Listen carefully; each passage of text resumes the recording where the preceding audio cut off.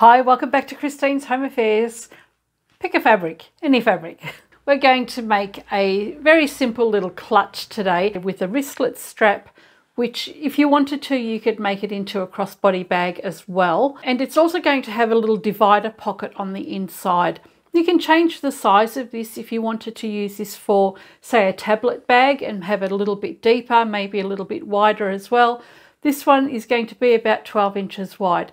So come along and I'll show you how to make this little fold over clutch with a wristlet strap that you could convert to a bag if you wanted to. Here's what we need today. I'm using furnishing fabric for the outside of my bag and I've actually stabilised all my fabric today except for the handle. For my main fabric and for my lining, we want 12 inches by 17 inches. I've got a lightweight fusible Pellon on the wrong side of the main fabric. On the lining fabric, I've got a lightweight fusible cotton it doesn't need much stability at all. It's only because we're going to be putting a little magnetic snap on. Otherwise I normally wouldn't bother stabilising my linings. 12 by 17 inches for my lining. For the pocket divider inside, I've also used just a really lightweight cotton fusible stabilizer or interfacing, which is 12 by 12 inches. And I have a swivel clasp, I have a D-ring, and a magnetic closure. And for the tab on the side of the bag and the wristlet, we have got three and a half inches by 21 inches. This will be cut down so that we can get both pieces out of the one fabric. Take our main fabric and our lining piece and we'll place these right side together. We're going to stitch this and we'll leave an opening just here. I'm using a quarter of an inch seam allowance for this whole project as well.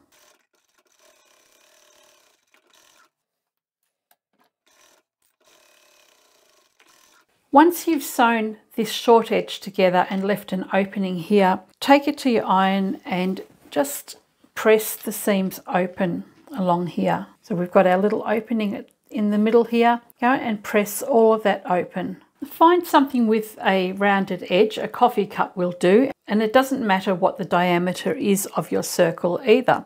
At the other end of your fabric, so we've got our fabric stitched together at that end, this end here, we have them open Lay the pieces together nice and evenly. We'll place a curve of the cup around the edge of the fabric here.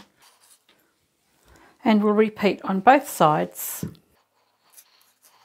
And then all we need to do here is just cut out the fabric along that drawn line, just along here, and leave it nice and straight at the top edge here. What our plan is, we are having uh, the bag folded up like this We'll have a pocket on the inside and we'll have the flap that comes over the top here. So we'll have the curved edge around both sides. If you prefer not to work with curves, then you can easily come up and mark a triangle along here and a triangle along here and you can have nice straight edges and you can have the flap of your purse tapered rather than rounded. So it's up to yourself which way you want to go.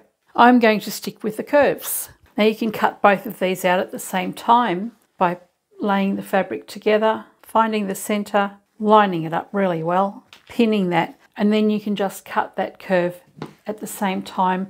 Then you'll know that your outside curves are exactly the same on both sides of your flap. So it's just a very slight curve Take our 12 inch by 12 inch square, fold that in half, mark a crease, and then we'll draw a line straight across the centre. Take your fabric and open it out, and we have this piece of fabric that we need to stitch onto our lining now. So have that nice and flat, open this piece of fabric out, and we're going to line up the raw edge here with the sewn edge along here. This section here is actually going to become the inside top front of our bag shortly. With this opened out, we're going to place the raw edge of the fabric here about a quarter of an inch from this stitching line just here. Line this fabric up at quarter of an inch from the stitching line. We can take this to the machine and sew all the way down here.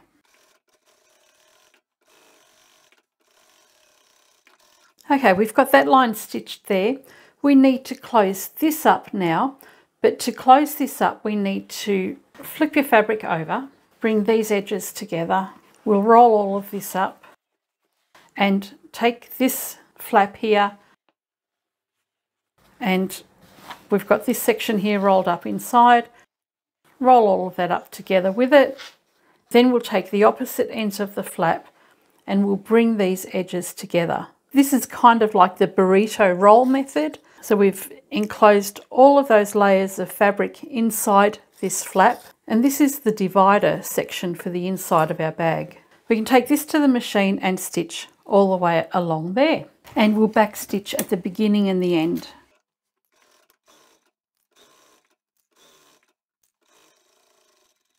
Okay, take the fabric out of this little tube now and turn this the right way round. So open out the lining section, straighten this out, and now we have the inside divider section almost finished. All we need to do here is top stitch. Take the lining piece well out of the way and we'll just go and top stitch right along the edge where that seam is.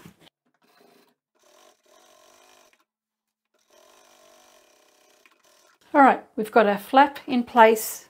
The top stitching is finished. We have our opening in the bottom of the bag there, which will actually come to the top. What we can do here, put some pins in on the lining at four and a quarter inches from the top edge. So I'm just going to put a pin in on either side. And I also want to find the center of my fabric here. So that's the center of my lining. And I'm going to measure down one and a half inches we need to put our magnetic button on the bag and take the outer part of the fabric and find the center here as well. So this is the section that's got the opening in it. We want to find the center at the bottom here and from the stitching line we'll mark two inches. I need a magnetic button here and the other side on here. So I'm just going to center my washer over the top I've marked the cutting line on one side and we'll mark the cutting line on this side as well. Put your seam ripper in at the bottom of the line and come back up at the top and just make a really small hole. And it's only going to be big enough for the prongs. We'll do the same at this end. It doesn't really matter which side goes where. This is my lining. I'll pop the prongs through there and then the washer can go directly over the top and I'll spread that open. And for the main fabric, I'll pop the button on from the outside to the other side and then we'll open this one out as well. From my, um, from my wristlet strap, I've cut off a two and a half inch strip of fabric. What we're going to do now is start putting all of these layers together so that we can finish up this bag. Take the flap here, push that up toward the curve of the bag. This section of the lining will also go up this will be the front on the inside of the bag. So we'll bring that up to where these pins are on the side. Line that up. Take the other curved edge of your main fabric and bring that up to the curved edge of your lining. And if you've got everything lined up properly, then you'll have the outside of your bag, the lining section of your bag lined up at the bottom. You'll have your flap on the inside. You'll have these facing and then we can clip everything together. You can remove the pins on the side and continue to clip all the way down. So we're just about ready to sew the bag closed. Before we do that, we need to put our little tab on. If you take your D-ring and your tab, place that inside the D-ring, have the lining section faced down and the main fabric faced up. And then go into your bag here and we're going to place this between the layers of the outside fabric, not between the layers of the lining. So I've got my main fabric here and this is at fold at the very top edge. We want to place this with the ring on the inside and we'll bring that about half an inch from the top of that fold. Put the clips back in place. Now we can take this back to the machine and we're going to sew all the way around the entire outside edges of the bag. Don't sew this section here. This is how we're going to get into the bag later when we turn everything the right way around. So let's do our final seam from here. We'll do a back stitch, come all the way around, back stitch at this end as well, and then we can clip the curves and then we can turn our bag the right way around for top stitching and closing up. When I get to the layers here where you've got the fabric folded up, I'm going to backstitch over this a couple of times for added strength and then continue on around.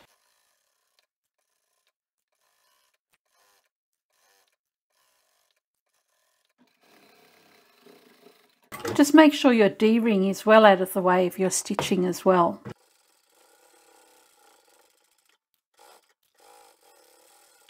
Okay, you can clip into your curves or just trim really close to the edge of the stitching line.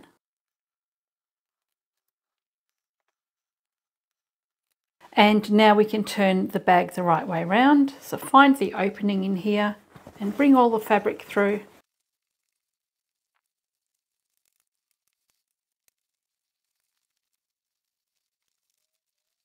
Okay, once you've turned the bag the right way around and you've poked out your corners so they sit nicely, we want to close up this opening here. So we're going to do a top stitch and we're going to top stitch this edge as well. You can see that little flat pocket or the divider pocket inside there. Take the lining and make sure it's on the lining side of the fabric. Just roll it to the back and we'll clip it in place so that we can top stitch this edge because we just want to see the outer fabric on the outside.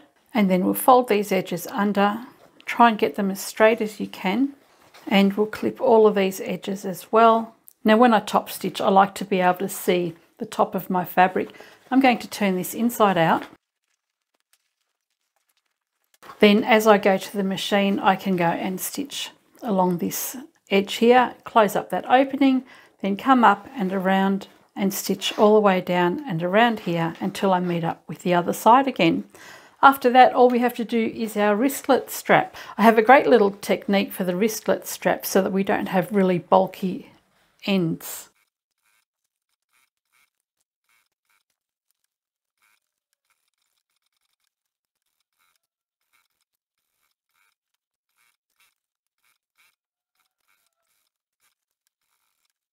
Okay, let's see how this has turned out. Turn everything the right way around. If you wanted to make this as a bag or a crossbody bag rather than a wristlet clutch, you can actually put a tab on the other side and just make a longer strap so that you can wear it across your body. Let's go and make our wristlet strap now. Now I've just taken my handle straight to the machine and stitched down both long edges. What I haven't done is stitched all the way to the very end. When you fold your handles together, start sewing about two inches from the top edge here. So we want to leave this open, go all the way to the end and repeat for this side as well. And then when you stitch this side, you'll do the same thing. You'll only stitch two inches in from the fold there as well. So that means we can leave our fabric open at the ends. Take your swivel clip and place it over your handle fabric. Then open up the layers of your handle there, both sides, and line them up. The handle fabric has been opened all the way out. I've just clipped the edges together and I'll take that to the machine and stitch that down. So if you don't leave enough of the end open, it does get a little bit fiddly back stitch make sure it's open all the way across and back stitch at the end. So you can see that's sewn together all the way along there.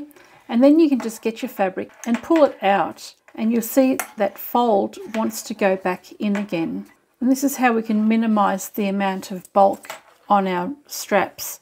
Open the seams out just fold that fabric together so that the seams stay open and fold that in again and keep those seams pressed open. And then we can sew this section closed on the top and along the bottom as well. And repeat for the other side. Then take the swivel and bring it all the way to the join that you've got right here. The seam is just on one side of the swivel clip. To have it right on the actual edge of your swivel, it's a little bit bulky and doesn't look very neat. I would have it just off center so we have the seam underneath about a quarter of an inch away from the edge of the metal underneath. Then we'll sew that closed and I'll just stitch over that a few times. There is our finished wristlet strap with a lot less bulk in it than you normally would if you were folding the edges over on the inside and your swivel stays in place there. Clip it onto your bag and there we have a nice little clutch with a divider pocket on the inside and I've even managed to match up my stripes. Here's another one that I did a couple of days ago. This one here doesn't have the tab on the side. It also doesn't have a strap for the wristlet or a handle, but it does have that little divider pocket on the inside. This was one that I was just playing around with to see how the pattern would go. So no box corners, no zips, very simple little bag to make. Uh, I really like this stripy fabric. It's an upholstery fabric, but it's just a really nice, cute little stripy fabric. Anyway, very simple to make, just a couple of folds and a nice easy divider pocket on the inside of the bag as well. I wasn't planning on making these to sell at all, so I haven't bothered to label it. I think it probably could have done with a nice metal label on the outside. What do you think? Anyway, I like this bag. It's a cute little project, very easy. All you've got is a seam along the bottom and then basically you stitch up the whole bag in one go. So there's not much to it. You don't have to put the divider pocket in this bag at all if you don't want to. It makes it even easier to make. And as I've said, if you want to, you can put another tab on this side and easily make this into a crossbody bag or a handbag of some sort. I didn't have enough length in the fabric to be able to do that and that's why I've chosen to just make a wristlet strap. I hope you've enjoyed this video and I shall catch you next time. Bye for now.